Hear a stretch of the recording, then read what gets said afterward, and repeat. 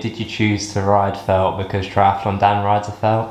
I had the bike before Triathlon Dan. Oh yeah, that. Okay, so I just wanted to run through this week on the vlog my race bike from last year, go through a few of the positives with the bike, some negatives, and also some changes I've made, especially over the last sort of 12 months to the bike to look for those little performance gains. So it's a Felt IA 2020. Bought it in March 2020, so just before COVID hit, so I didn't actually get to race it much in 2020. The bike itself came with Ultegra Di2, I think it's R800 Ultegra. It comes with uh, TRP, um, hydraulic brakes, and it also came with Reynolds um, 58 front and 62 back. In terms of like where this comes in triathlon bikes and like high-end bikes, it's very much like a mid-tier bike I'd say. It retailed for 5,400 at the time when I bought it. So when you're looking at some of the other bikes which are 10,000 plus, it's um, I'd say it's a relatively affordable super bike. Some of the changes I've made, so I'll start at the back, which probably makes the most sense. Um, I've obviously put a disc on, this is a Parcours disc. Um, potentially might be changing the wheels this year, that's undecided yet. Um, Parcours disc, I've got obviously the Ultegra, I'm running an 11 I think it's an 1123 on the back here, so that was actually set up for California. I'm using a Dura-Ace, uh, Shimano Dura-Ace chain, and then at the front, it had an 11, not 11, it had a 5339. Yeah, so I've upgraded to a 5642. The reason for that being um, mainly for chainline efficiency, but also for um, some of those faster uh, courses for some of the fast sections where you do have that little tailwind, it means that I can put it in the 5611 and still kind of pedal. Um, whereas what I was finding with the 5311 was I was going sort of 55, 60 k an hour with a tailwind and I was doing 110 just to try and keep on the power, um, which some would say is a waste of time, but when you're racing, you kind of just want to be able to put that power down the whole time. So crank length I'm riding is 165. Um, again, the bike came with 170 and actually I switched that out. It was literally the first thing I did when I got the bike. I had an Ultegra 165 so I literally switched that straight away. Um, I find that works really well for me. I find that especially because I'm on a large frame, which I haven't said yet, but it's a, a large 56 frame. Um, and I'm not the tallest guy in the world, but I've got really, I've got a really long torso and really short legs. So I find that with the 165, it does give me the ability to go up ever so slightly on the saddle um, and get me into a slightly better position. Um, I'm talking like, yeah, millimeters, but everything, every little helps. So um, yeah, that's really good. Some of the other changes I've made, obviously I've got the Parcours on the front as well, so that is the 80, I think it's an 80 mil um, front wheel, and that's a chrono. Uh, again, might be changing that, uh, unsure yet. And then on the front end, we have a aluminium base bar, um, which came with felt standard extensions and cups. And I originally moved into the Drag 2 Zero uh, Ergo extensions with a revolver monocup. Um, and then I'm just using the, these are like prototype bars that Drag 2 Zero aren't selling yet, which is kind of a more clean looking cup into extension um, with I put the mount in the middle where I would hold a bottle cage facing backwards for hydration. With that I've got the Project 76 uh, Garmin mount and I've got the Garmin 520 Plus I think it's called, or 520 Edge or something like that. Um, but yeah, that does exactly what you need with it. It's got maps, um, it's 2019 now so it's almost three years old and it's still working fine, battery life is good so uh, I've also got the Garmin Vector 3s as my power um, source on the bike. Um, again, I found them really easy to use, easy to switch between bikes, um, and haven't had that many issues. If anything, I think they read a little bit high, um, but yeah, they give you they give you some numbers, so that's the important thing. So on the saddle, the bike actually came with an ISM, is it an ISM 1.0? I think it is. Yeah, ISM PS 1.0. I had one of those saddles, I used it for two years on the bike, and then the front nose of one of the sides collapsed. So I've actually got a the exact same saddle again, but it's actually a blue demo saddle. So one that they, like a lot of people use like bike fits. And I the reason I got a demo saddle is that it was just basically a cheap part. So um, it saved me sort of spending full price on a new saddle. In terms of what I think about the saddle, sometimes I get along with it really well. Other times I do. I have had like a couple of sores, um, a bit of discomfort moving around, that sort of stuff. Um, overall, I think the split nose is really good for me. Um, and I know a lot of people use the 3.0, and I think there might even be a 4.0 out now. Um, so I definitely think that is one of the upgrades I might look to change. I'm running uh, on both the front and back GP 5000s, the tubeless version. Um, I had them set up about three weeks before Outlaw Half last year, and I haven't changed them yet. Um, so they will have to be uh, inspected and possibly uh, new tyres put on before race season, especially if I'm going to use these again. I just before California did a the old super glue fix on the wheel. So just fill the crack with super glue because I had a couple of little slits in the tyre. Um, but I haven't had any punctures or anything on them. Um, I don't even think I have had a sort of slight puncture and seal. I think they've literally been pretty robust. And in terms of performance, I think they are in term like really really good in terms of performance, but also really high in terms of uh, puncture resilience. Um, I think you can get faster tyres, but you're talking very very small differences in terms of performance there. And I think, especially when you're racing like Ironman, the less likely you have to get off your bike and try and put a tube in or put some CO2 in, all that sort of stuff, the, the better really. I'll go through a couple of positives and negatives about the bike and then what I will do is quickly go through a few little changes I'm going to make this year. So some of the positives I found with this bike, with a lot of other bikes in a similar price range, it handles really really well and also it is a fast bike. Um, is it the fastest bike in the world? Probably not um, because it is one of those more mid-range bikes but in terms of being an elite age grouper and a new pro. I think it kind of ticks all the boxes. In the wind tunnel it tested pretty well. From my experience it's been a pretty fast bike and in terms of the frame shape and all of that it's exactly the same as the more high-end uh, I felt IA they have. Another things I liked about the bike is how just basically really easy uh, the front end is for me to adjust. I'm on the more aluminium base which basically has a flat bar here and then a round stem. Um, and the, the, perks of that is just obviously to get tilt in the, in the TT bar extensions. You haven't got to worry with spaces or anything, you just can kind of rotate and clamp on. Um, so that's really, really easy to adjust. For the most part, it's got some really good options in terms of hydration storage. So you have got this bento box here, which does go down into the frame. Um, the, there's a couple of issues with that, which I'll talk in a minute, but in terms of options for gels, etc. That is really, it, you know, you've got that option, whereas on some other TT bikes you don't. On the rear, you've got this box as well. Um, again, it fits a lot. So in terms of, I rode most of the first half of the year with spares um, in the back while racing, and you could fit quite easily a tube, a couple of CO2s, some bike levers, that sort of stuff. So, and that will just fit really comfortably in there. In terms of like overall performance of like the bike, I think it handles really, really well. I've been using the 80 front and the disc on the back, and I think it's almost a testament to maybe the wheels, but also the bike in terms of how well it does handle. It's, there's no sort of like wobble in the bike at all. It's very, it is very stiff. It does, it does hold position really well. I am like 75, 76 kgs, so I am slightly heavier than most people. So I can definitely lean into the wind a little bit more. Um, but in terms of performance, even on a windy day, I'd quite happily go out with the 80 on the front and a disc. So that, that's really good. In terms of obviously other things that I've really liked, I started using these demo Drag Zero bars on the bike.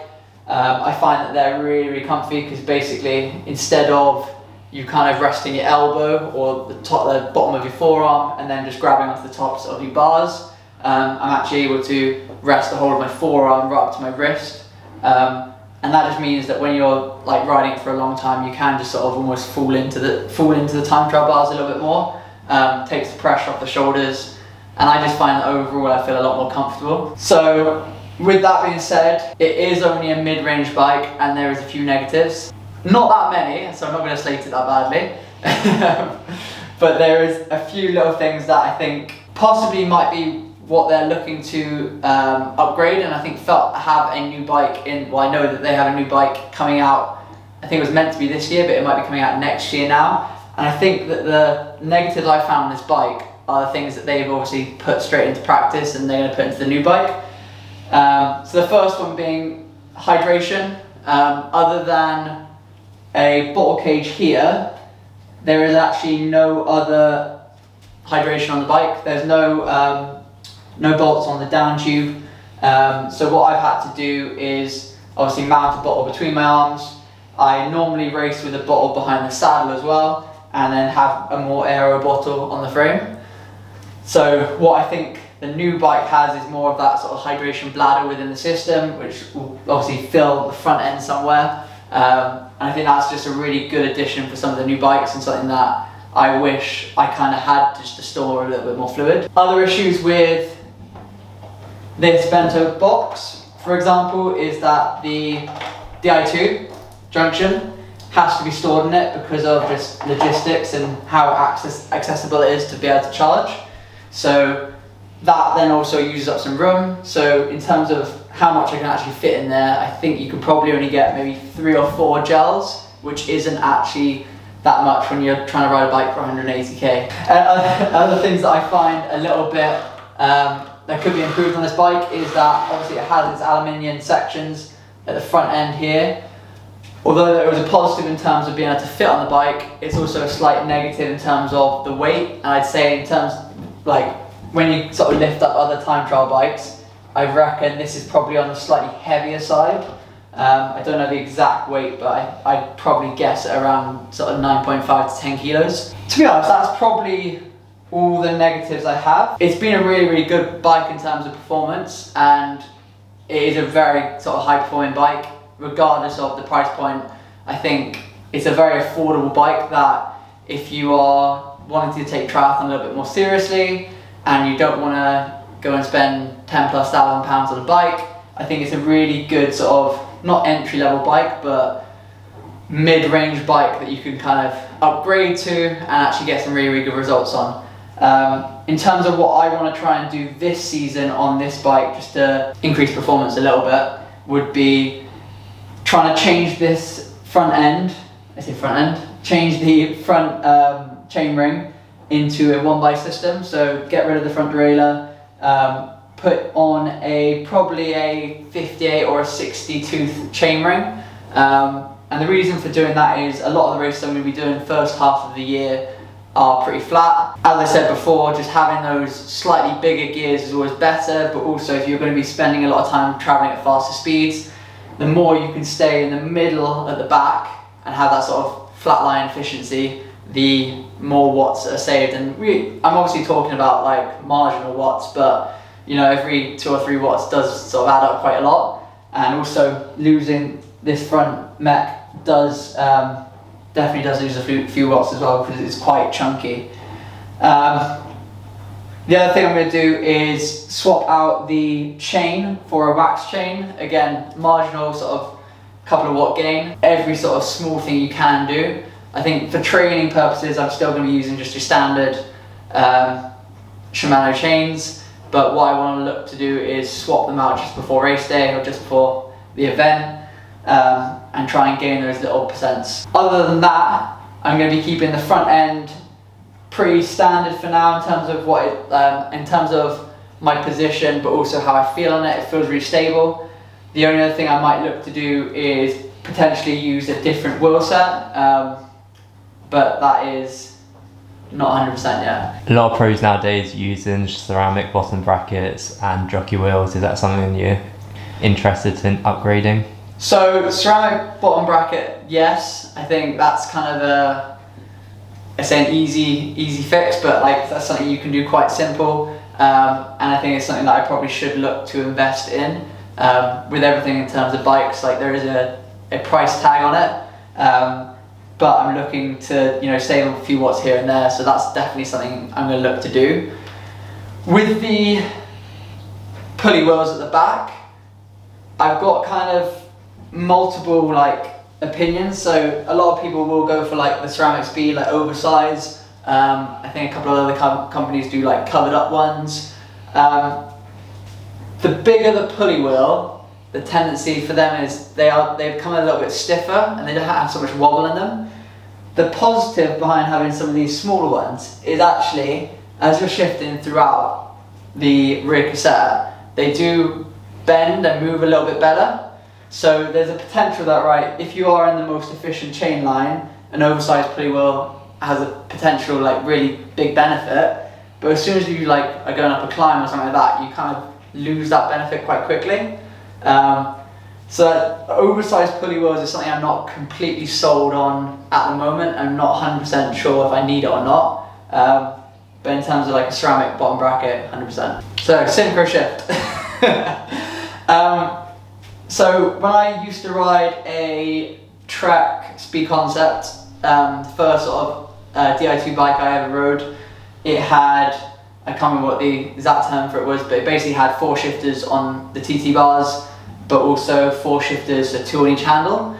Um, when I moved to the Felt IA in 2020, it came with synchro shifting. So you basically just have one blip at the end of both bars, which shifts down and up, but also you only have on your right hand side shifting up and down again. The, I guess the perks of having that is simplicity in terms of like athlete, you haven't got to think as much. In terms of slight climbing courses, there is when you're shifting from the big front ring to the smaller ring, there is sometimes, you know, it kind of shifts without you knowing when it's going to shift. And I think I've got a lot better because obviously the more I've ridden the bike, the more you kind of can feel when the bike's going to shift and you kind of know exactly like the speed you're traveling or the power you're going, that sort of thing.